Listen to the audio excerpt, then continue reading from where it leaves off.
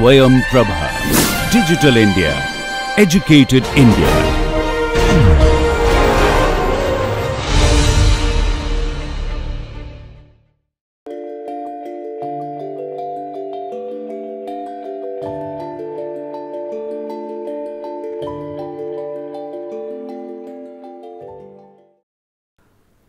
So, uh, welcome back to the immunology lectures and we will be continuing our discussion on uh, the B cell maturation. So, in the last class uh, or in the last lecture uh, we started with the B cell maturation and we had uh, uh, talked about how the B cell undergoes different stages of development starting from the multipotent progenitor cells and then it develops into the progenitor B cell and then to the pre B cell and then finally develops into an immature B cell and then finally the mature B cell.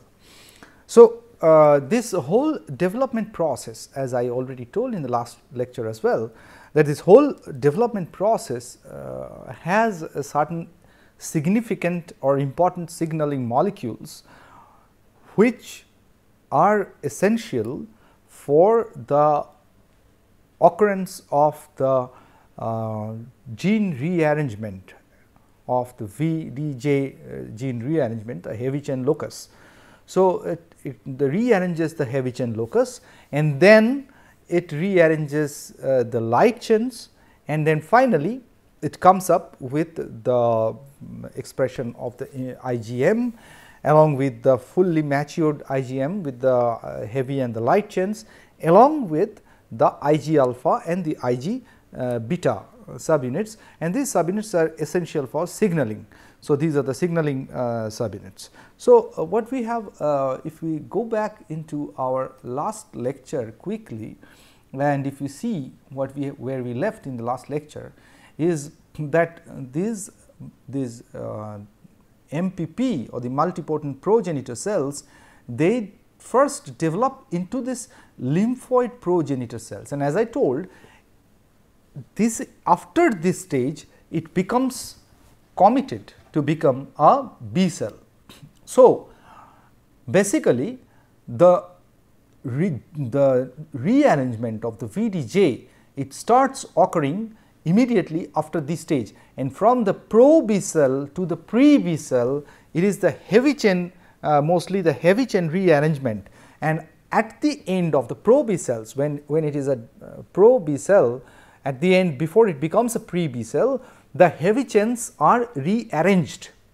So, you have already uh, gone through the lectures uh, where Professor Ghosh has uh, introduced you to the VDJ recombination process, the RAG proteins and everything.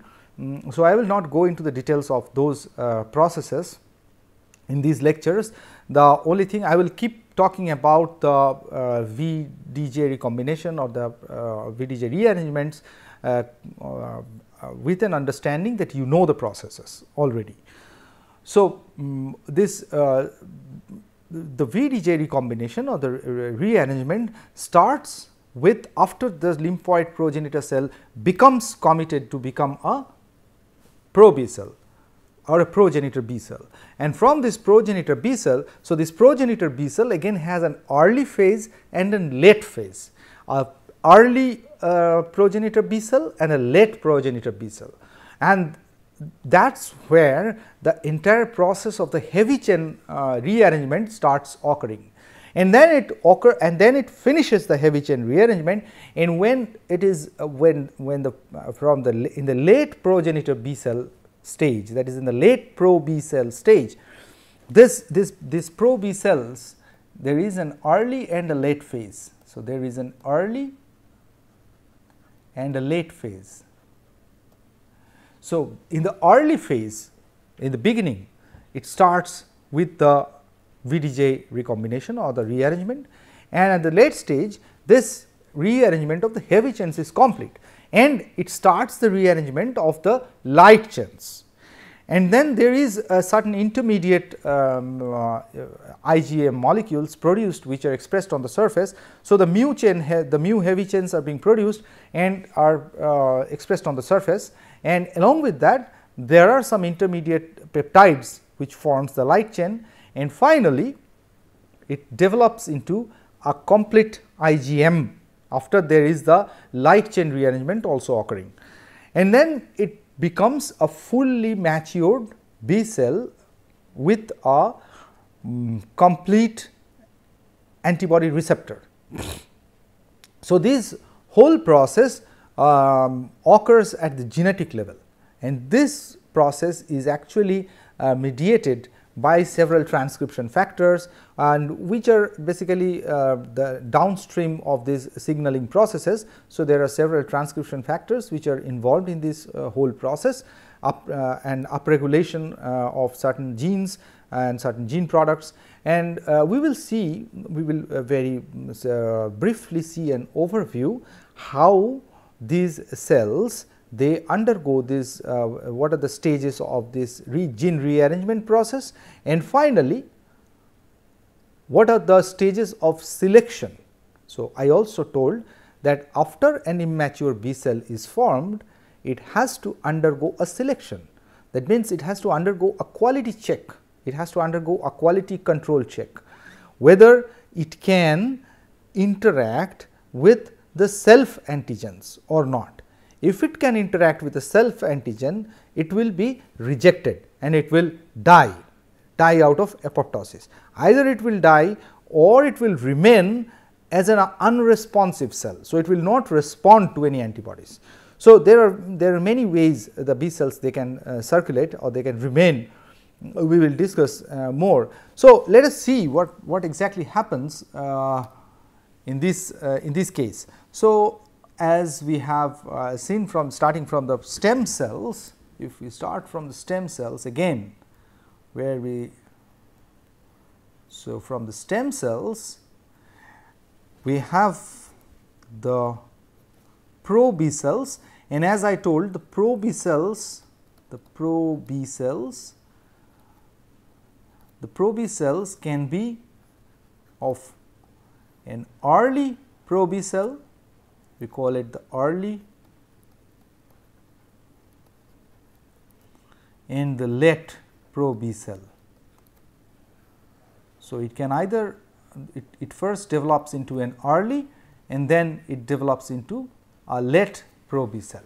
So, what happens in this early um, uh, pro B cell is initially there is a D fragment to the J heavy chain rearrangement. So, this D to J rearrangement starts to occur here in this early stage. The first rearrangement, the gene rearrangement in the VDJ re, uh, rearrangement process. So, these cells in the early stage they start with the D to J rearrangement and then once this D to J rearrangement has taken place there is a V to D J H rearrangement. So, this is also a heavy chain rearrangement and the first is a D to J rearrangement and then a V to DJ rearrangement. So, now this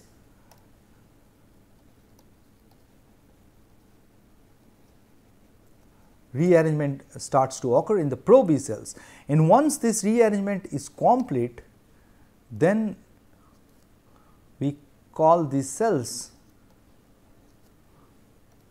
the VDJ rearranged cells. So, now they have completed the VDJ rearrangement or the recombination process and these are the pre B cells. So, now this is the pre B cells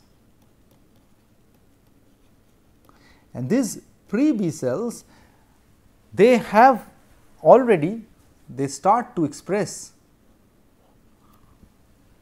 the IgM or the surface IgM also sometimes called the um, uh, membrane IgM or the surface IgM the S IgM they start to express on the surface although the light chain rearrangement has not started occurring in this stage. So, the light chain rearrangement starts occurring at the pre B cell stage and initially what happens is there is a surrogate light chain so, you have you get a surrogate light chain and this surrogate light chain basically comprises of two small polypeptides which is one is the V pre B and is the lambda 5. So, these two small polypeptides they together comprises of this surrogate uh, light chain which is not really the complete rearranged light chain. A, so, it forms an intermediate receptor along with the signaling subunits. So, a receptor on the surface of the B chain typically looks like something like this. So, you have the surrogate light chains and you have the Ig alpha and the Ig beta subunits. So, at this stage, so the Ig alpha, Ig beta subunits they also st start to be expressed in this stage at the stage of the pro B cells. In this Ig alpha, Ig beta,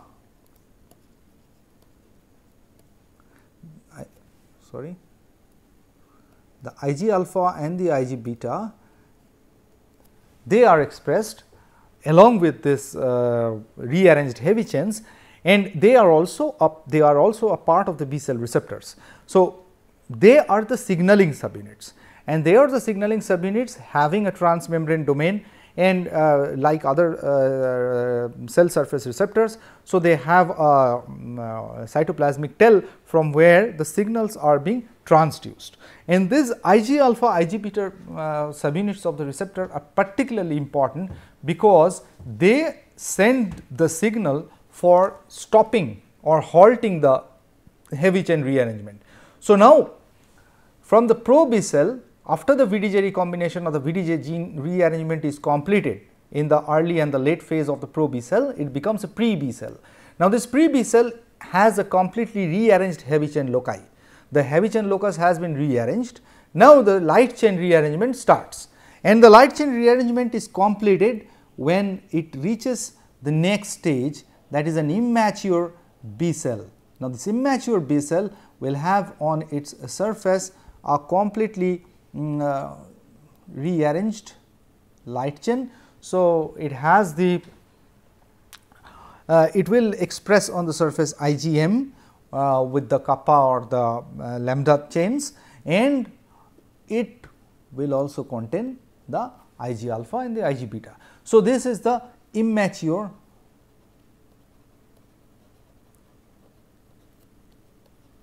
B cells.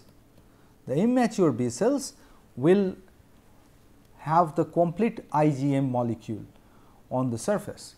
Now, this will finally when it becomes a mature B cell, this will finally start to have the IgM as well as the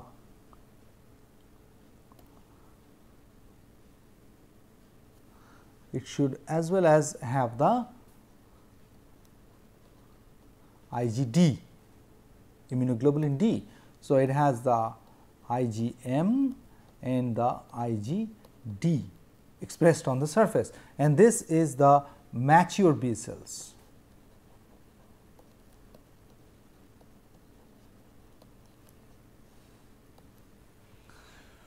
So, let us look into the whole uh, the entire stages of the B cell maturation and uh, starting from the stem cells it develops into a pro B cell, a progenitor B cell and first the early progenitor B cell which uh, where uh, the D to JH uh, rearrangement D to J rearrangement starts. And then in the late phase the V to DJ rearrangement starts. And the Ig alpha and the Ig beta they starts to express on the surface. And now after the late uh, uh, pro B cell then the uh, surrogate light chains they starts to express and then they form this intermediate uh, immunoglobulin molecule containing the rearranged heavy chains and the surrogate light chains. And these surrogate light chains are primarily comprised of two polypeptides the V pre, uh, pre B and the lambda 5.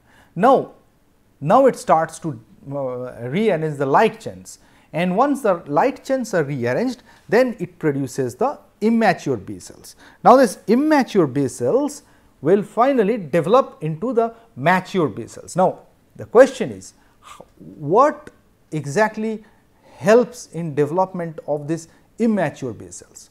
So, the first thing is that uh, this after the cells this pre B cells they have completed this VDJ rearrangement or this VDJ recombination then you have this uh, Ig alpha and the Ig beta which are required for the signaling. So, as I told that uh, they have the signaling they are the signaling subunits of the B cell receptor. So, they have a, um, uh, uh, a cytoplasmic uh, part a cytoplasmic tail by which they transduce the signal and they are essential for halting or stopping the heavy chain uh, rearrangement and then the light chain rearrangement occurs. So, finally, this immature B cells are being produced. Now, these immature B cells, what is the fate of this of these immature B cells? So, what is the fate of this immature B cell? So, let us see one immature B cell as I told on its surface will start to express the IgM. Now, if this immature B cell the IgM of this immature B cell now will be tested for its ability to react with self antigens. So, now if there is a cell nearby, so and you have the antigens. So, basically the cell surface molecules. So, now if if they can interact with the cell, surface, uh, cell surface molecules, if they cannot interact that means there is no reaction, no reactivity that means they are unreactive, they do not react, then they will continue to mature and they will form the mature B cells. with the IgM as well as the IgD being expressed on the surface. But, so this is for example, this is uh, the first case. A second case is like this where these B cells with the IgM molecules on their surface can actually interact with a cell surface antigen or a self antigen and that can lead to cross linking of the receptors.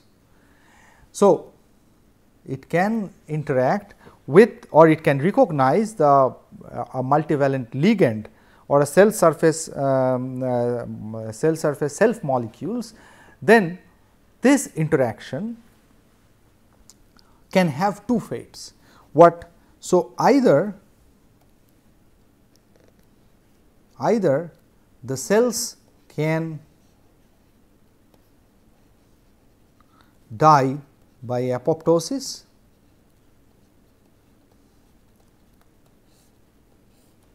or they can undergo a second round of receptor editing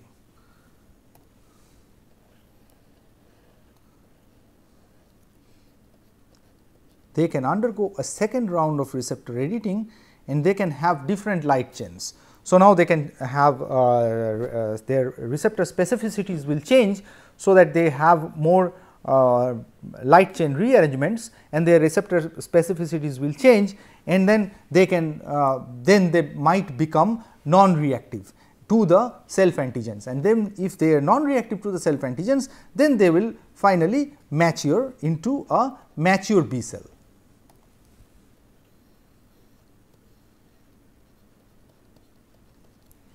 This is the second case. A third case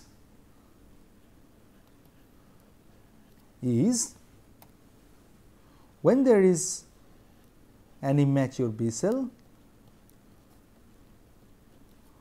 expressing IgM on the surface and they can interact with some soluble antigens, not the cell surface antigens, some soluble proteins or some soluble peptides, some soluble antigens, but self antigens that can lead to receptor cross linking. So, if there is receptor cross linking that means there, there is a higher high affinity for this self antigen. So, the affinity is high. So, it binds to that antigen the soluble antigen with quite high affinity. Then what happens? Then basically there uh, this these cells they become unresponsive to the antigens. They becomes unresponsive.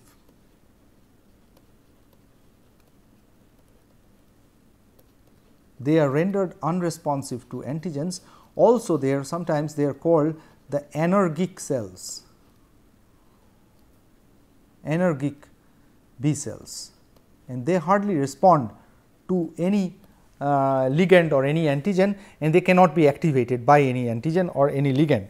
So, they will be uh, kind of um, un remain unresponsive to the antigens and they will not. Uh, so, once they go to the uh, peripheral system they will not basically respond to the antigens and they become the anergic cells. So, and then uh, they, they cannot be activated and differentiated. So, this is a third class and a fourth situation or a fourth case would be that a B cell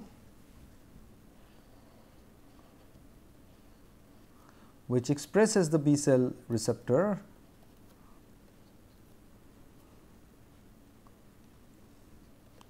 it can still bind to a soluble antigen similar to case 3, it can still bind to a soluble antigen, but not with a very high affinity.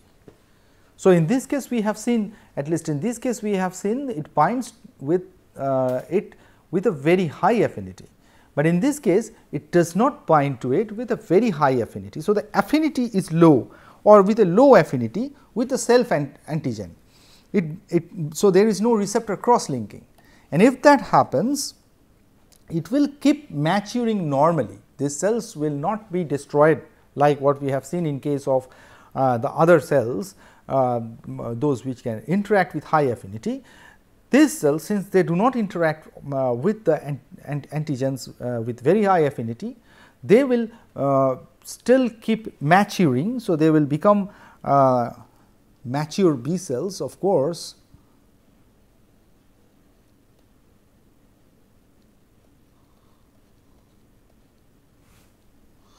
But the they will become kind of clonally ignorant population.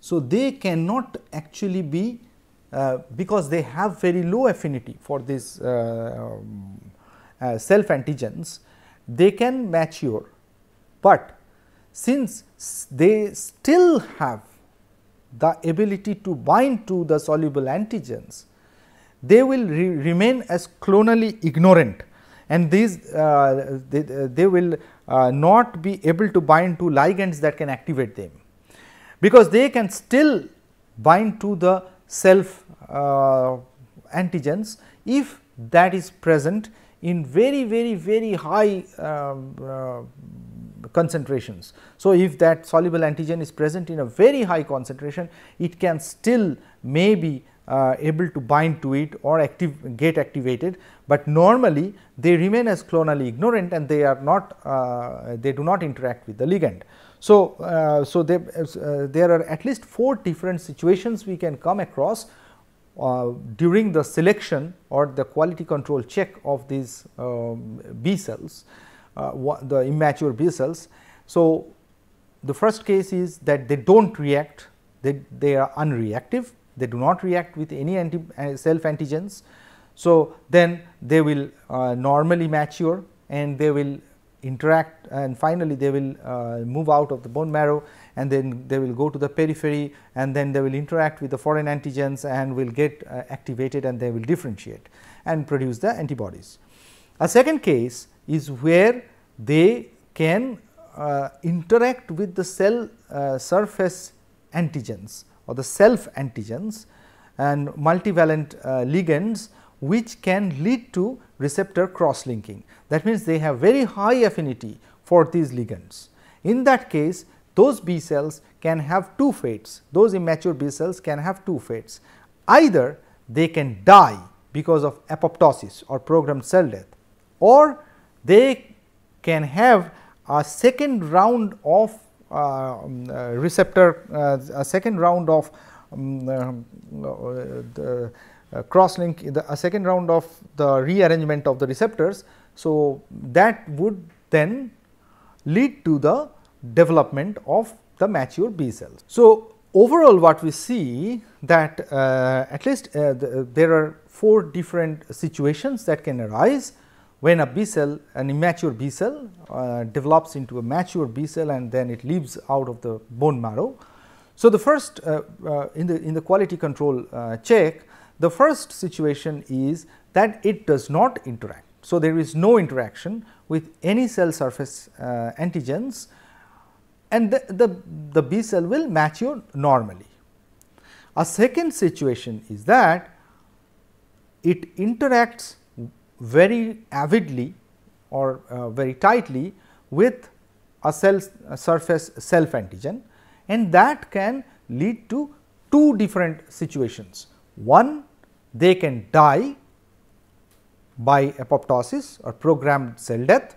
In a second case they can still undergo re-editing of the receptors. So, there is another round of re-editing of the receptors and uh, there is another round of uh, light chain rearrangement that would lead to the uh, development of the B cells. A third case is that the B cells, the immature B cells, the receptors can bind to some soluble antigens like some soluble proteins or some soluble peptides that can lead to cross linking of the receptors. Remember the situation 3 and the situation 4 are a bit different. So, in, in case of situation 3 the binding of the soluble antigen to the B cell receptor is strong and that can lead to cross linking of the receptors. And if that happens then that can lead to unresponsiveness and lead to the anergic B cells.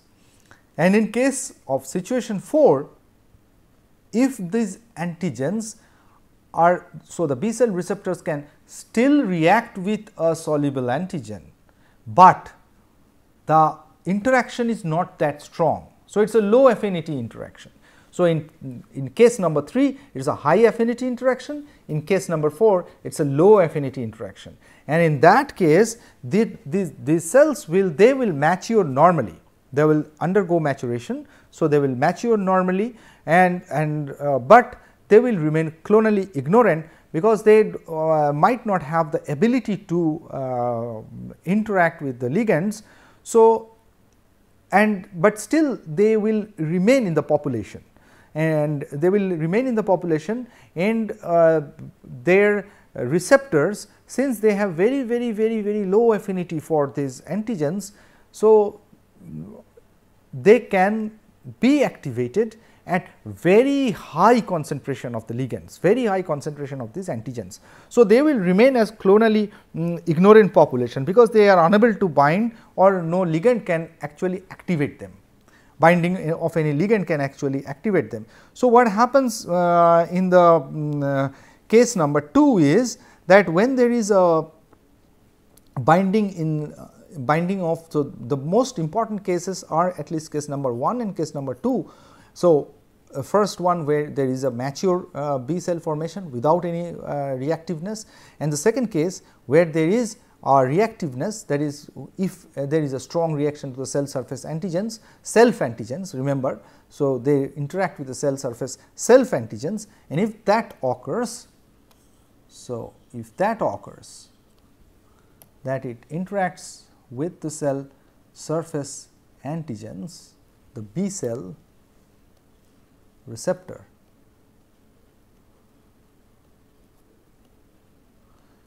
if it can interact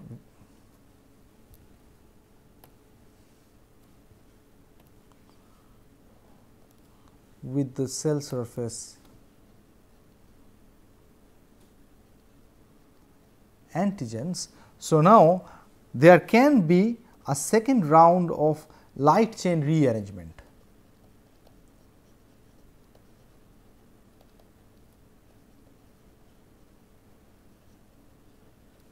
And the B cell development will be arrested. So, here there will be an arrest of the B cell development and then you can have a second round of receptor editing leading to the light chain rearrangement. And you will expression you will have expression of new set of light chains. And then it will be again checked. It will be again checked for the uh, with the new receptor specificity with this new receptor specificity. So, the receptor specificity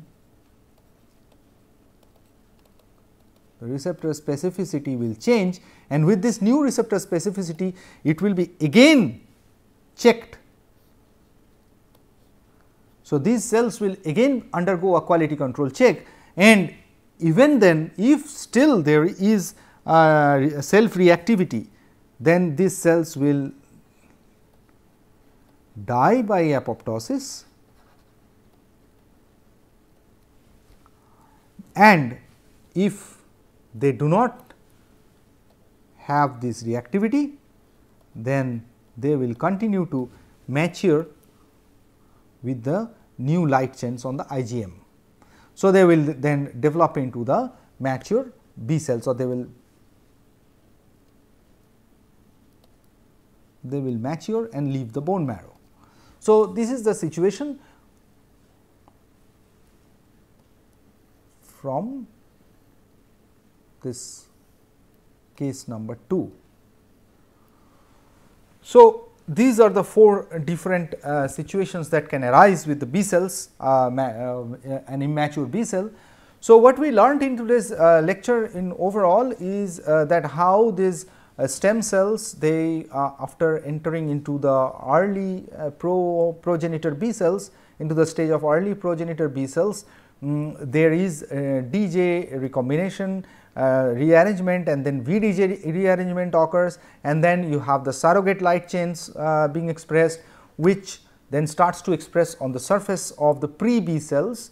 And then finally, uh, you have the immature B cells where uh, you um, um, in this pre B cell stage you will start having the um, light chain rearrangement and then you will have the uh, complete IgM molecule being formed and these IgM molecules. So, at this uh, pre pre B cell stage there is again another stage where this, these cells becomes bigger in size and then they become again smaller in size uh, with the um, uh, IgM uh, in the soluble form and then the IgM is expressed on the surface of the molecule uh, of the of the cell and they are also called the membrane IgM or the surface IgM and this surface IgM will uh, associate with this Ig alpha and Ig beta the signaling subunits of the receptor and then finally it will mature into the mature B cells. Now at this stage when the, the immature B cells before it finally matures and leaves the bone marrow these immature B cells they can again interact with the cell surface antigens uh, and undergo four different uh, uh, fates. So, they have four different uh, situations can arise. One is that they can interact with the surface antigens, the different surface proteins like for example, the MHC molecules and uh, if it recognizes it as an antigen and it interacts, it reacts. So, that means it has a self reactivity then uh, then it will not uh, go into the maturation stage.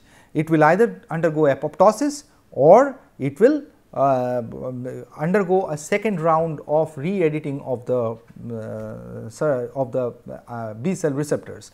uh, that is case 2. Case 1 is that it does not interact with any uh, cell surface self -anti antigens and that can lead to complete maturation of the B cells and development of the IgM and the IgD and the mature B cells will be produced. A case 3 is mm, where they develop an anergic B cell, anergic B cell uh, means which is unresponsive to any antigen and that occurs when the B cell receptors are uh, they still interact with uh, self antigens, but soluble antigens and a case 4 is that when it still interacts with the soluble antigens, but with low affinity. So, they develop into a clonally ignorant population of the B cells. So, we kind of uh, try to understand if you look into the whole picture, uh, we try to understand uh, the B cell maturation, uh, the different stages of B cell maturation and selection of uh, the correct B cells which actually finally matures and the, uh, then it can uh,